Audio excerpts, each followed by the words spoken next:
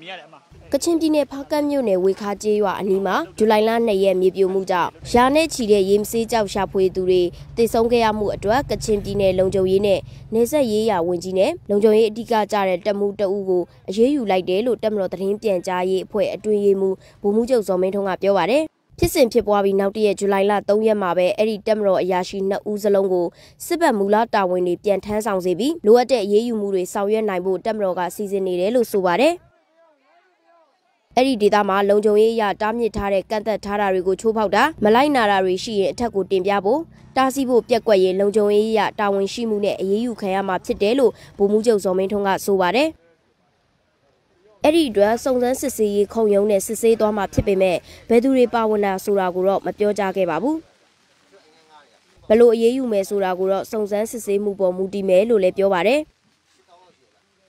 အဲ့ဒီမြေပြိုမှုနဲ့ပတ်သက်ပြီးပြည်ထောင်စုအစိုးရဖွဲ့ကတယံဇာတာနဲ့တဘာဝပတ်ဝန်းကျင်ထိန်းသိမ်းရေးဝန်ကြီးဦးအောင်ဝင်းဦးဆောင်တဲ့စုံစမ်းစစ်ဆေးရေးအဖွဲ့ဖွဲ့ဆောင်ရွက်နေတာလည်းရှိပါတယ်။